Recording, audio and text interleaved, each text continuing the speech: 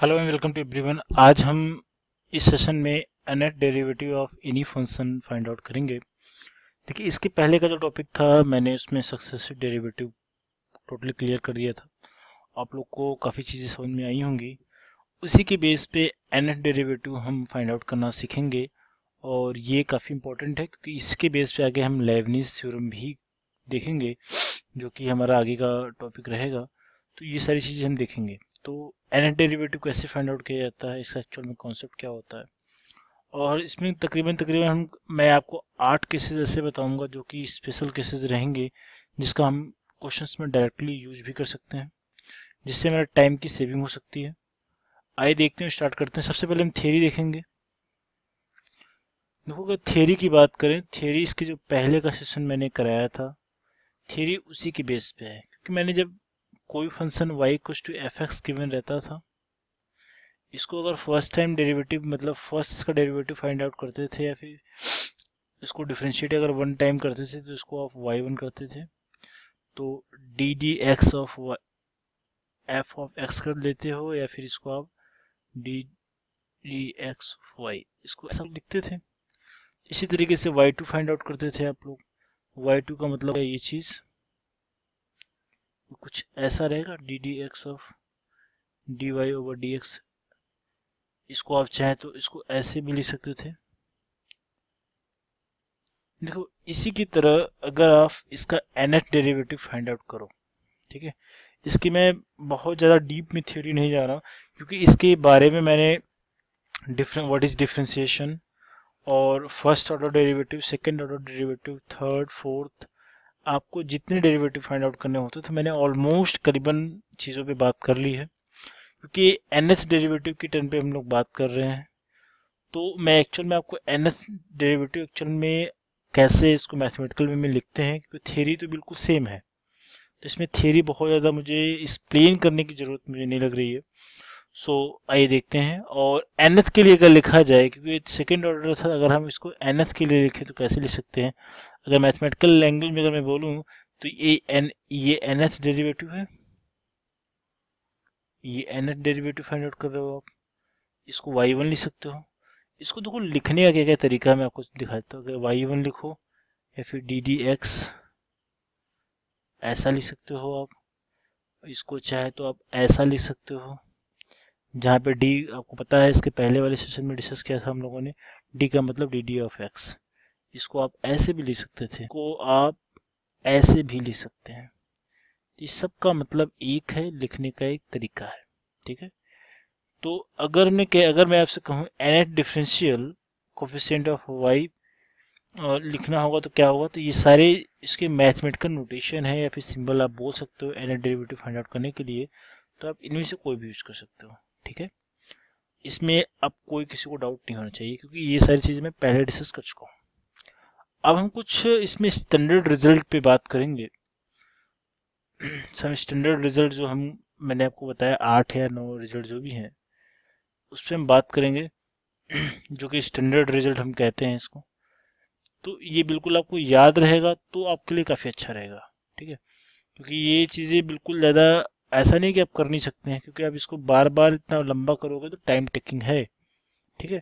तो जो कैलकुलेशन हम यहाँ पे करेंगे अगर आप हेडिंग लगाना चाहो तो हेडिंग लगा सकते हो। कैलकुलेशन ऑफ़ एन डेरिवेटिव ठीक है? तो कैलकुलेशन ऑफ़ एन डेरिवेटिव में मैं कुछ इक्वेशन में लूँगा और उसी को मैं सॉल्व करके पहले y1, y2, y3 के लिए लिखूँगा उसके बाद चीज़ों को सॉल्व करूँगा। तो पहले हेडिंग कर लो आप कैलकुलेशन ऑफ़ एन डेरिवेटिव ये हेडिंग हुआ आपका, ठीक है? अब देखिए, मैंने पहला जो फ़ंक्शन लिया है सपोज़ सबसे पहला जो फ़ंक्शन लिया है एक क्वेश्चन नहीं है, ये आपका कुछ केसेस हैं।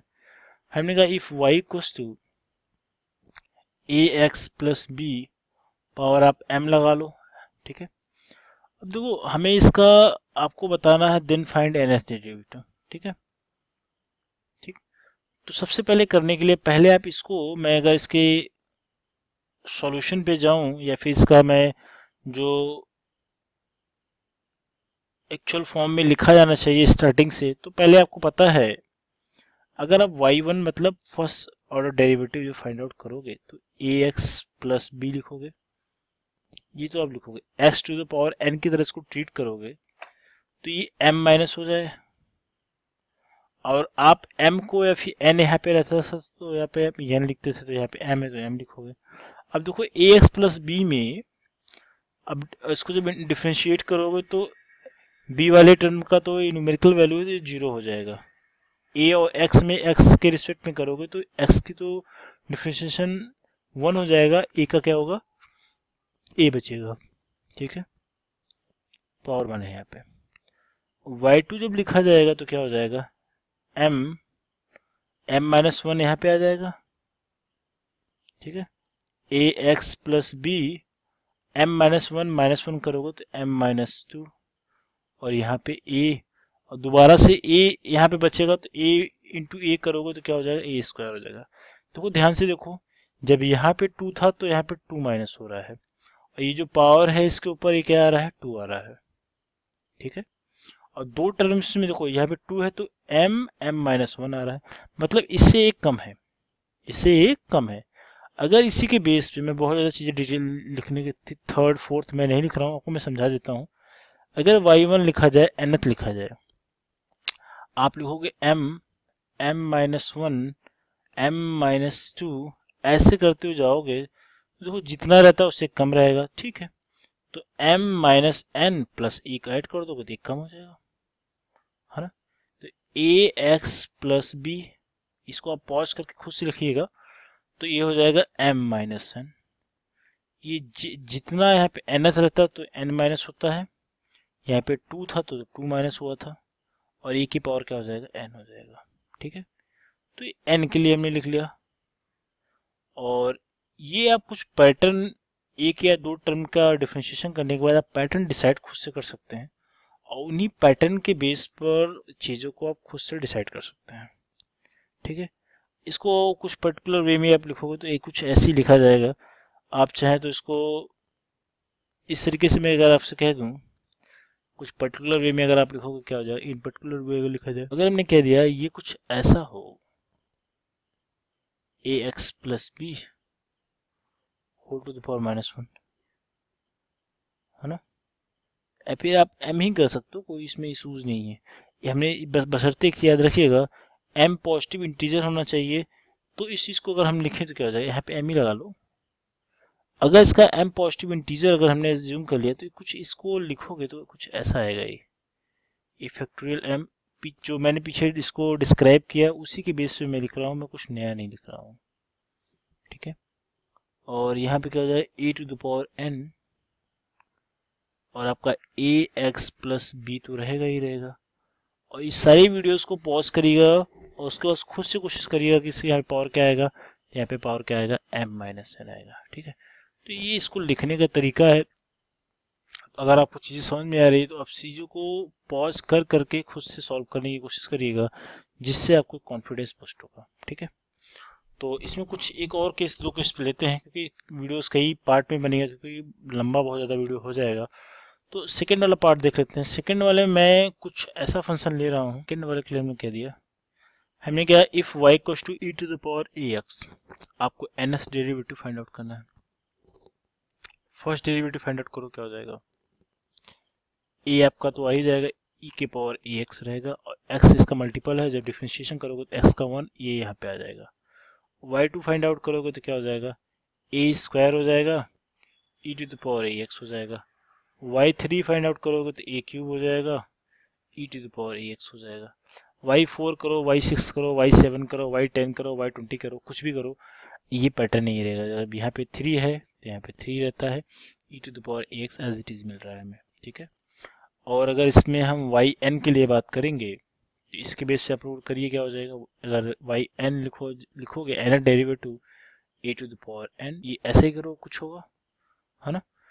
ये इन जनरल में बात कर रहा हूँ, ये इन जनरल आप करोगे।